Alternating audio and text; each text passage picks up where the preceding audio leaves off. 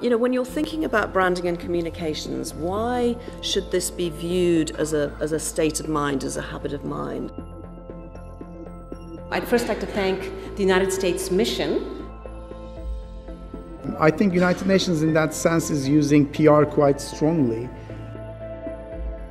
There's usually a fundamental human truth at the core. So a group of people, including Cecil B. DeMille, they moved from New York to find another land. That was extremely interesting and entertaining. Thank you very much. You're not, you're not actually a brand until you are somehow significant in the lives of your users. Everything changed. All of a sudden, domestic box office stayed where it is, and international box office just raised it up.